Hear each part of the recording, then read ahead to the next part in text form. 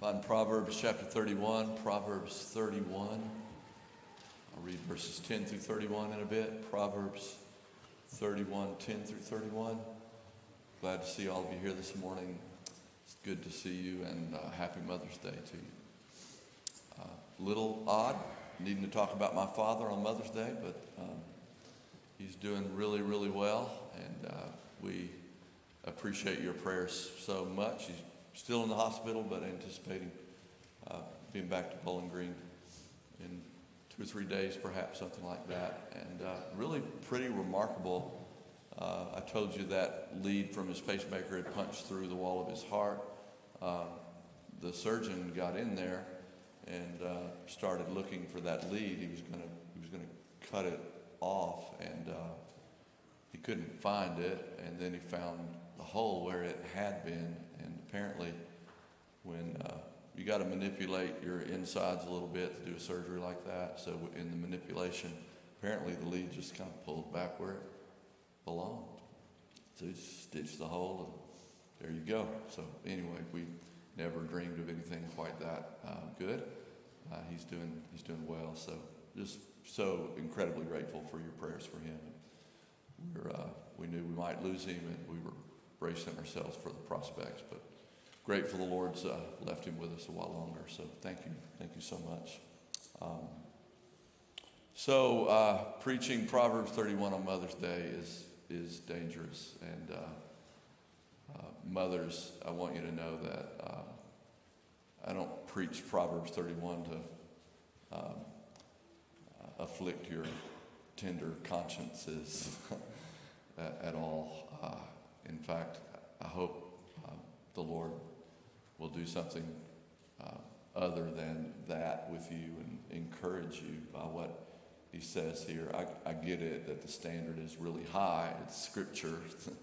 the standard of Scripture is always high.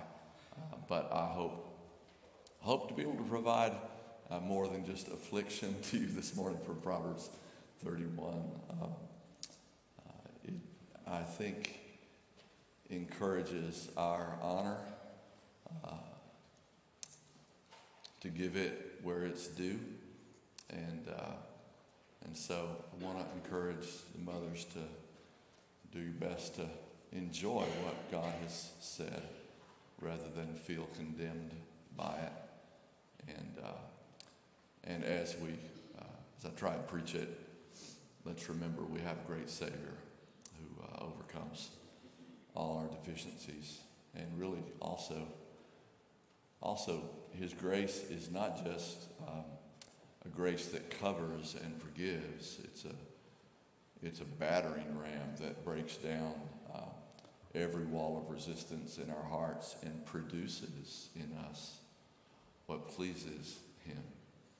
And at least from your pastor's perspective, I see him doing that in moms around here in really, really beautiful ways. So uh, thanks for your faithfulness. All right, I'm going to I'm going to read the text, Proverbs 31:10. If you're able, let's stand one more time. Well, not one more. You'll stand again, but you'll have a pretty good break before we do, I think. An excellent wife who can find. She is far more precious than jewels. The heart of her husband trusts in her, and he will have no lack of gain. She does him good and not harm all the days of her life. She seeks wool and flax and works with willing hands. She is like the ships of the merchant. She brings her food from afar. She rises while it is yet night and provides food for her household and portions for her maidens. She considers a field and buys it. With the fruit of her hands, she plants a vineyard. She dresses herself with strength and makes her arms strong. She perceives that her merchandise is profitable. Her lamp does not go out at night. She puts her hands to the distaff, and her hands hold the spindle. She opens her hand to the poor and reaches out her hands to the needy. She is not afraid of snow for her household, for all her household are clothed in scarlet. She makes bed coverings for herself. Her clothing is fine linen and purple. Her husband is known in the gates when he sits among the elders of the land. She makes linen garments and sells them. She delivers sashes to the merchant. Strength and dignity are, are her clothing. And she laughs at the time to come. She opens her mouth with wisdom, and the teaching of kindness is on her tongue. She looks well to the ways of her household and does not eat the bread of idleness. Her children rise up and call her blessed, her husband also, and he praises her. Many women have done excellently, but you surpass them all. Charm is deceitful and beauty is vain, but a woman who fears the Lord is to be praised. Give her of the fruit of her hands, and let her works praise her in the gates. Will you pray with me? Father, we pray that as we peer into this text, into your word, that we will perceive what's here rightly and we will receive it with glad hearts and with faith. And we will give honor where honor is due today. Lord, every one of us began life the same way, coming from a mother's womb. And this is a gift, and we thank you for it. Father, we recognize that Mother's Day is a day of great joy, but it's also a day of great sorrow. So we remember those who would be grieving today, some facing their first Mother's Day without their mother, others remembering mother passed or grandmother passed. Would you comfort those hearts, Lord? There are mothers who've had the horrible duty of burying a child or children. Lord, would you give them special comfort today? And there is a private pain that runs through church families of infertility and childlessness. Lord, would you comfort those in their sorrow? And there is another often private pain of mothers of wayward children whose hearts ache at a child wandering far from you. So, all of these that hurt in these ways, Lord, maybe some that I haven't thought of, uh, would you hold them close and give them your comfort uh, as only you can? Uh, so, Lord, take this word, your word, and drive it into our hearts and beyond our hearts to our hands and our mouths as well today. We love you. We thank you for this opportunity and privilege. In Jesus' name, amen. You take your seat. This text really is framed in uh, a recognition of the enormous value of an excellent woman you see at the beginning, an excellent wife who can find she is far more precious than jewels. And then at the end of the text, in the other frame, you have this sense of her husband praising her, of um, that she should receive praise in the gates. Her children rise up and call her blessed, her husband also, and he praises her. So we're called to recognize that enormous value of an excellent wife at the beginning and then that value is recognized and expressed in praise at the end of the text. So, so this whole text is, is framed. Now, you need to know just a little bit about Hebrew literature and poetry to get this text right. So I'm just going to tell you that, and you can ponder it a little bit, and we'll, we'll move on. Uh, but you, you ought to know it.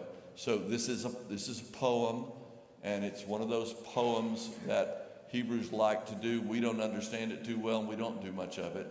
But there are 22 verses here. Everyone connects with a letter in the Hebrew alphabet, 22 letters, and each verse, 10 through 31, starts with a successive letter.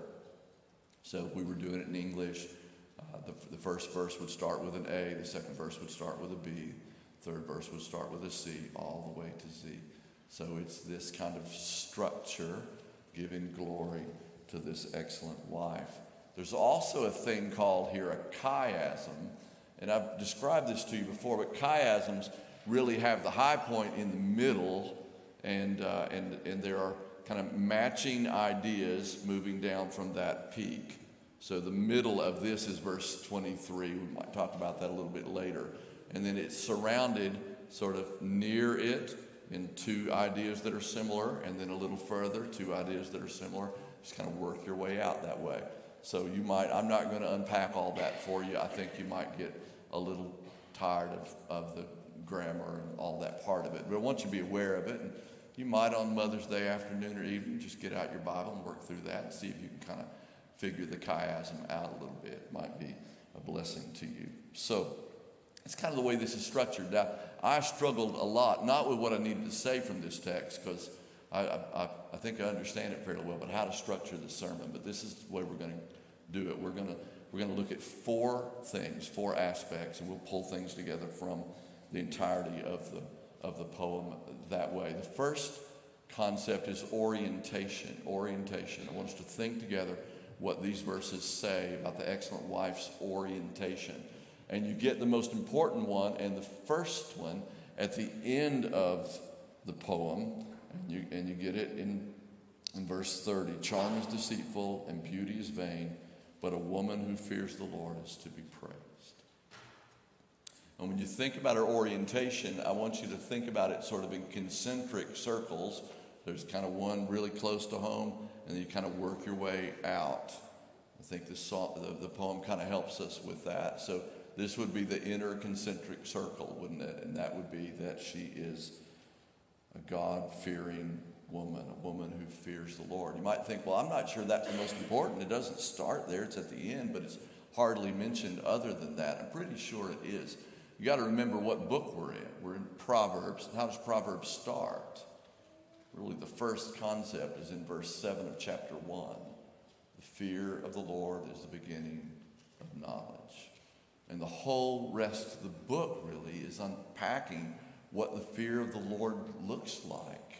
What the fear of the Lord looks like in the way you relate to the world. What the fear of the Lord looks like in the way you relate to friendship and marriage and parenting and work, all of that stuff. It's all, all centered in this orientation to the fear of the Lord. So that's kind of the, the first orientation of this woman's life. And, and I just I just want to say to you, moms, that um, really to be this kind of woman is, is the best thing you can do for your family. It is, it is more important than anything you will do directly to your husband or for your husband or for your children or for your grandchildren is this becoming a God-fearing woman is the most important thing you can do for them. Now, the other things matter, we'll talk about those, but this is, this is crucial, it's most important, and it starts right here. It doesn't mean you live in constant terror of God. It does not mean that. It does mean that your heart is gripped in awe of his greatness and his goodness and his glory and his wisdom and his beauty and his mercy and his strength. And you just never quite got over the fact that he loved you and saved you and gave you life. You're oriented toward him first of all. I love the way C.S. Lewis's book, where he grieves the passing of his wife, and uh, he's telling the story of her, her, her cancer and losing her to cancer. And the last sentence in the book says, She smiled, but not at me. Now, guys, you might not like that. You might think, no, you know, she's got died. She should be smiling. If she smiles, she should be smiling at me. But C.S. Lewis said she smiled, but not at me. And the idea is she was smiling at Jesus. She was anticipating. Guys, you're not supposed to be first. And you'll be a whole lot better off and you'll be loved a whole lot better if you're not first. If, if you're first, it won't be good and it won't be pretty. So, ladies, start there. Uh, orient your life around Jesus Christ, crucified and resurrected. Make him the centerpiece and let everything else flow out of that. That's, that's, that's the key. That's the most crucial thing. If you don't get anything else out of, out of Proverbs 31, you should get that. Be a woman who fears the, the Lord, who lives in awe of his goodness and greatness.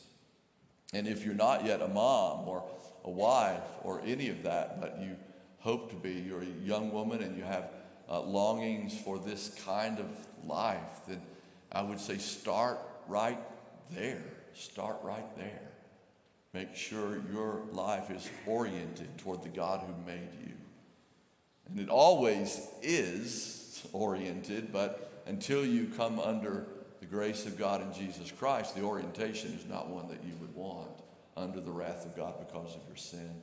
Until you repent and believe in Christ, then you come under his refuge and his grace and mercy.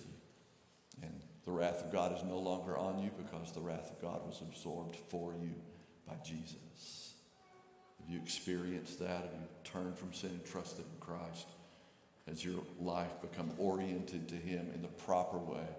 Repentance and faith and new life in Christ. If not, before I get any further in this Mother's Day sermon, you should just go to Him. Right in your heart, right where you are. Just come before Him, tell Him your trouble, ask Him to forgive you. Start relying on Christ, crucified and resurrected. That's, that's the first orientation. Second orientation is toward her household. And you see the word household there a lot. Verse 15, you see it. Verse 21, you see it twice. It's in there in verse 27. So her household. So it starts with the Lord and then it's her household. And her household uh, really relates in a number of ways. One is to her husband.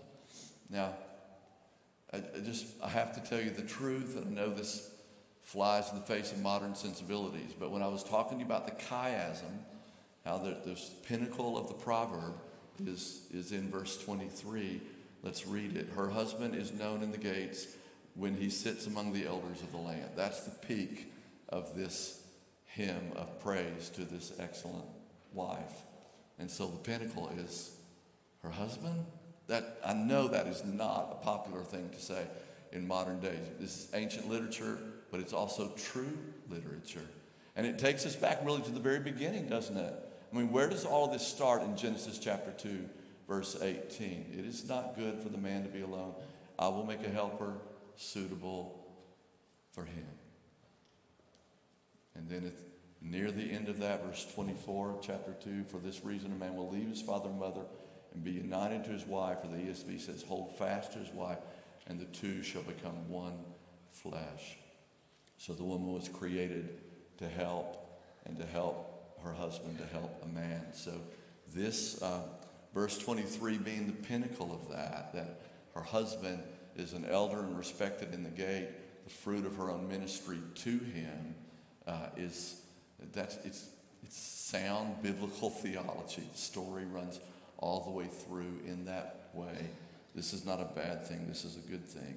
So she's oriented toward the Lord first, then toward her household, within the household, toward her husband. Uh, it, so we saw verse 23. Uh, look at what it says in verse 12. She does him good and not harm all the days of her life. Good and not harm, stated positively and negatively. I, have never found this C.S. Lewis quote. Uh, but I read Douglas Smith saying C.S. Lewis said this, so it sounds like C.S. Lewis to me. But he was dra- dra- drawing this distinction between the, what, between the way men tend to love and women tend to love. And Lewis allegedly said that uh, men tend to love by not giving trouble to people, and women tend to love by taking trouble for people. Y'all are smiling. some of the guys are smiling. You know, there's an element of truth to that. And when our wives are not happy with us, we're like, what have I done? I didn't do anything wrong. I've, I'm not giving you any problems, no trouble. I didn't do this, and I didn't do this, and I didn't do this, and I didn't do this. Uh, but a woman's love is oriented differently. It's not not giving trouble. I didn't do anything bad. It's taking trouble, taking trouble. And this uh, poem is full of a woman taking trouble for her husband. She doesn't do him harm, she doesn't give him any trouble, but she does him good all the days, all the days of her life. Um, So her husband, and then within her household is also her children. They're mentioned late in this, and it says her children will arise and call her blessed. All of this effort you see in the poem is centered around caring for her household. We'll talk about that more in a little bit. So she's invested. When it says that she teaches, no doubt her children are the object of that instruction and that wisdom that you see there in verse 26. So, and then her household, though, is even more than that. Look at verse 15.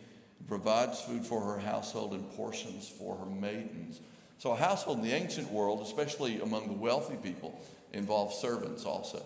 So, the household was bigger than just kind of nuclear family, husband and children. It might involve grandparents, and it often involved servants, which was a wealthy family always did. And there was a sense of responsibility for all these people within the household. And this woman of this household, uh, she pours out her life for them, for them. And so, again, you have this central orientation, fear of the Lord, then a, a wider circle to her household. And then you also see the community. Look at verse 20. She opens her hand to the poor and reaches out her hands to the needy. That's beyond the household, isn't it? And yet she's relating to that. She's oriented toward that. And again, verse 23 her husband is known in the gates when he sits among the elders of the land. So her husband sits with the elders and is involved in the leadership of that community. And so the Lord, then household, then community. So she's invested in all of those areas, and life is impacting all of those areas. This may be more indirect than direct in the community as far as the leadership goes, but you better believe she's influencing her husband, who's influencing the direction and the flourishing of that community. So she's involved with that. And then I'll add one that's not in the poem, but I think it, I think it ought to be said, and that is the world. That's the world. Not in the poem, and yet it would be implied by the fear of the Lord. So, part of what it would mean to walk in the fear of the Lord would, would mean to care about what he cares about. And biblical theology, from start to finish, all the way through, God cares about all of his creation. He cares about all of the world. He certainly scattered and created the nations in Genesis 11, but the moment he does that, he's calling out Abram from Ur the Chaldees, and he's saying, I will bless you and I will make you a blessing, and through you all the nations of the earth will be blessed. And so there's this, uh, this, this sense uh, that God cares about all of those that He's made, all those image bearers, all of those nations. And so a godly woman, a God fearing woman, will have an orientation toward the world as well and toward the Great Commission and the, and the coming of the gospel to all the nations. Crucial that we say that, and also want to encourage and comfort a little bit at this, at this point. And that is we, we focus on Mother's Day on this thing of uh, having children uh, by birth or by adoption. So we tend to focus that way. But in the new covenant, motherhood is broadened out a bit beyond that. And you might never marry and never adopt and be more fruitful than any woman in the room. And that's just the truth. So read read the biography of Amy Carmichael, uh, that woman who served as a missionary in India and saved hundreds of young girls from prostitution in the temples there. And they were her daughters, and they called her mother, and she was and is enormously fruitful. So I want to encourage you about that. In the new covenant, we don't leave all of this behind, uh, but we add to it in that kind of responsibility. So this orientation would be uh, the Lord, and then the household, and then the community, and then the world. The world. So that's the first thing I want us to think about. The second thing is activity. So first thing, orientation. Second thing, activity. What, what is she doing? And uh, the first thing that really catches your eye, and maybe the biggest thing that catches your eye as you walk through this poem, is that she works. And she works hard and she works smart. So she works hard. And I want to encourage you a little bit that this is, I think some of this is hyperbole. Look at verse 15. She rises while it is yet night. And then look at the end of verse 18. Her lamp does not go out at night. So when does she sleep? Maybe in the daytime she gets a nap. I don't know, but but, but so she her light doesn't go out at bedtime and all through the night. And then when you get up early in the morning before daylight, she's already up. So when does the girl sleep? I, I think it's hyperbole. Hyperbole is kind of overstatement to make a point. So, so, so just to comfort you, don't think that you can never go to bed and never sleep. In fact, Susan, I'm so glad I, I had 127 Psalm marked in my Bible to take you at this point in the sermon to take you over there, and Susan already read it. I can't quote it exactly, but the second verse in vain you eat the bread of anxious toil and stay up late, for he gives to his beloved sleep. That's probably not quite the quote, but that's pretty close. It's definitely the gist of it. So, how can both things be true? Either she sleeps or she doesn't sleep. No, she it's, it's hyperbole. She sleeps. You need to get some rest. But the point is what? She works hard. She's a hard worker. And there are sleepless nights with motherhood, aren't there? They come along with it, and sometimes it may be anxiety driven sleeplessness, and sometimes it may be a baby that needs to be fed, but there are sleepless nights. But it doesn't mean she never sleeps, it just means that she works hard, and you get all of this. Look at verse 13. It works with willing hands. Isn't that good? So, why would her hands be willing to work so hard? I, th- I think it's love. C.S. Lewis was right. A woman's love is expressed by taking trouble for people, by taking pains for the people she loves. And I watch you guys do this in a multitude of ways. And it's a, it's a beautiful, beautiful thing. So her hands are willing because she loves them and she's working hard. And, and what is the working hard for? Well, it, it relates to all the orientations we just talked about. She works hard out of her fear of the Lord. She works hard because she loves her husband. She works hard because she loves her children. She works hard because she cares for her household. She works hard for her community. She works hard for the world. It, it, it, it relates to all of those circles of orientation. She works hard. But she also works smart. She works smart. Look at verse 16. She considers a field. Look at verse 18. She perceives that her merchandise is profitable. Verse 14. She's like the ships of the merchant. She brings her food from afar. So she's traveling to go get something. She seeks wool and flax. You get this sense not just of great effort, but great excellence, even wisdom in the effort. You can work really hard and not accomplish all that much because you don't work all that smart. So, um, I am not, maybe I shouldn't confess this, it might trouble you a little bit, but I'm not the most efficient worker in the, in the world. I do work hard, but I don't always work all that efficiently. But I'm married to a girl who understands efficiency like nobody's business. And all four of our sons have that going on that, that Lisa brought. They don't just work hard, but they, they really work smart. They, they know how to do stuff. We got, we, got, we got sons handling more than I think I could ever stay on top of. It's really extraordinary.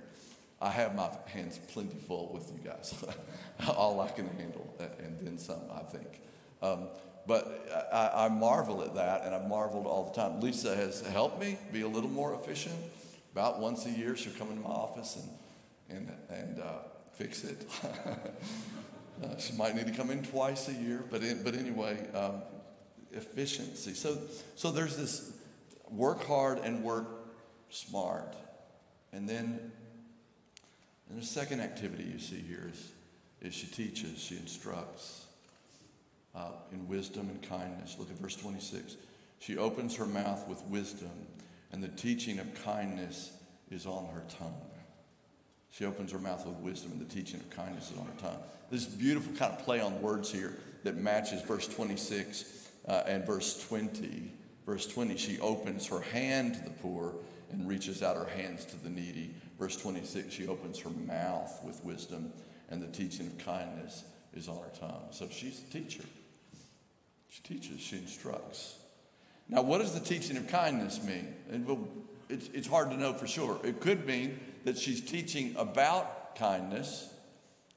So, at our house, we've had a, a girl party a couple of times in the last month. Uh, young women have come to our house to watch sort of the newer version of Cinderella. So that's happened a couple of times, and I stayed with them a while. In the first one, I went up and said hi. In the second one, and went to, and went to bed. That was this past Wednesday night, I think. But anyway, they were watching the new Cinderella, and there's this sort of stirring, tear-jerking scene in that newest Cinderella where Cinderella's mom, who's who's dying, is on her deathbed, and she calls Ella to her, uh, and and says, I, I want to tell you something that's really important. And she says, Have courage and be kind. Have courage and be kind. So maybe she's teaching about kindness. This is what kindness looks like. You need to do this. Or maybe teaching itself is a kindness when you teach just practical knowledge, or when you teach wisdom, or you teach instruction from this book. But she, she teaches. Who does she teach? her daughters and her maidens. And would that be it? I think it's a little broader than that. I think it's a little broader than that. And I love really the way this text, I think, corrects on sort of two excesses. It corrects egalitarians, at least the scripture would. I don't know the Proverbs 31 so it would so much, but the scripture definitely would correct egalitarians who would say there's no roles between men and women. There's no distinctiveness of roles. Women can do anything a man can do, a man can do anything a woman can do. Basic biology teaches us that that's not true, but beyond that, God made us differently in lots of ways, and we ought to be celebrating that. Scripture corrects that. This text, though, corrects an excess in the other direction. A complementarianism, the view that God made men and women different uh, but with, and with different roles to complement one another. That's what you see in Genesis do.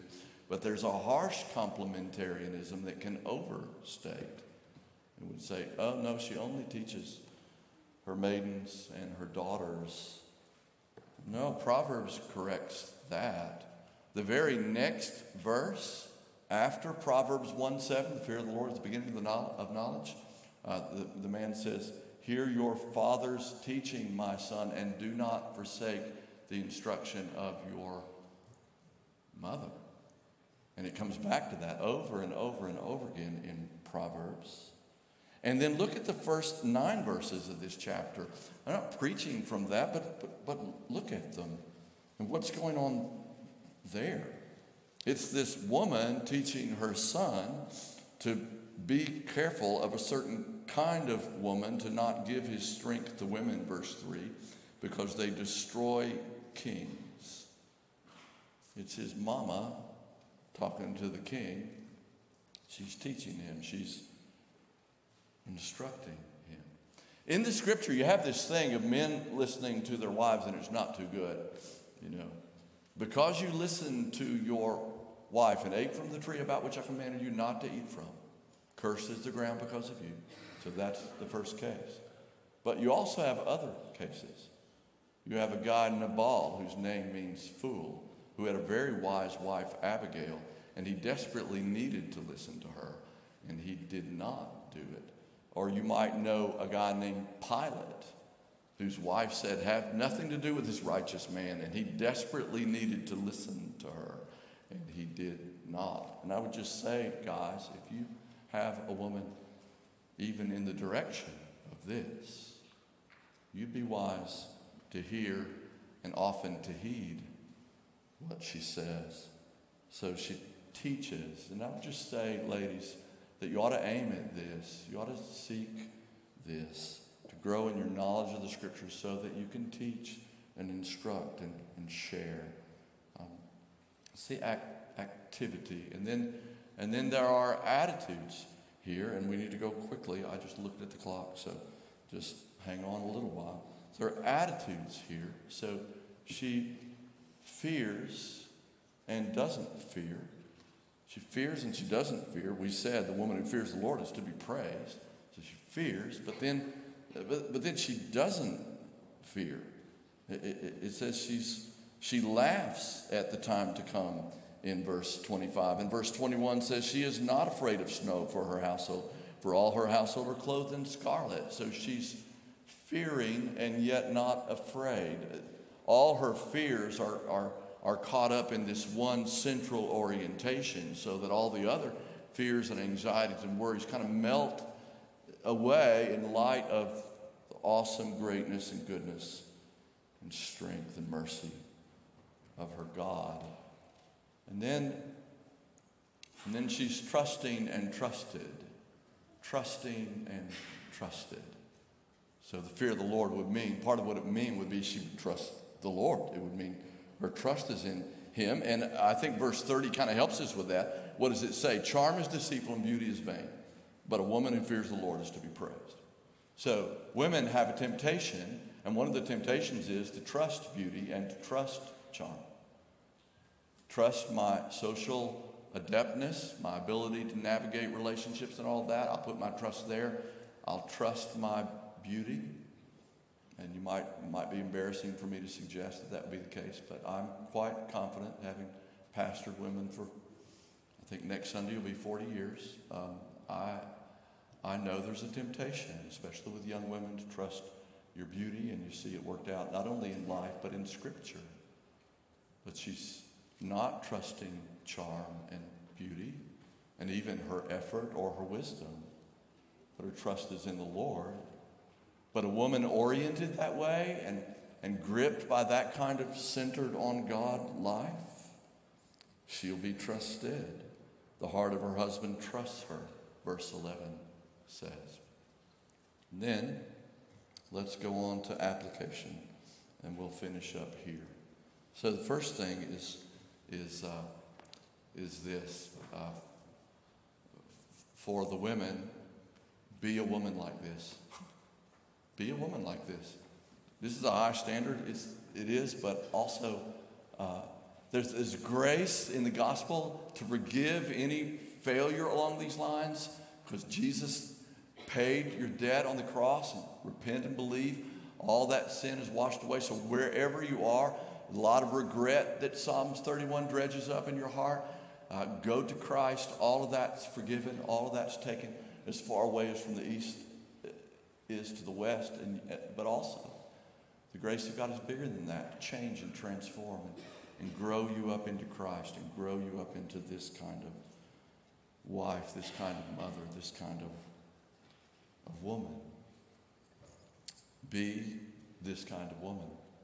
Second thing for the guys, find this kind of woman. find this kind of woman. Uh, see, seek her out. Search for her. Unmarried, find, find, find her. Find one. Uh, you could trust beauty. You could go for the trophy wife. Don't forget what Proverbs 11:22 says. Like a gold ring in a pig snout is a beautiful woman who lacks discretion. Teach your sons that. Teach your daughters that too. I don't trust in beauty.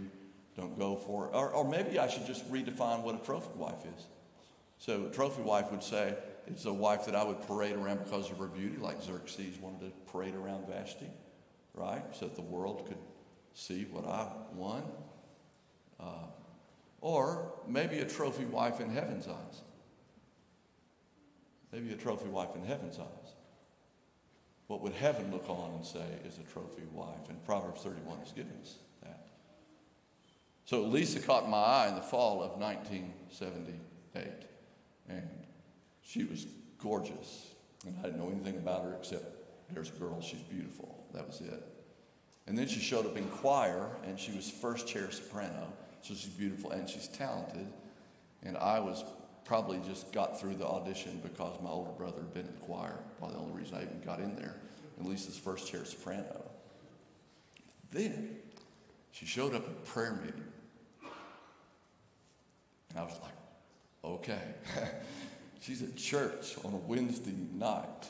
Girls don't tend to show up at church on a Wednesday night unless Jesus matters to them. And uh, there she was. So it was game on at that point. I'm slow, but anyway, um, the Lord was, was kind to me find, find a woman like this. And, and then, thirdly, and related to it, is appreciate a woman like.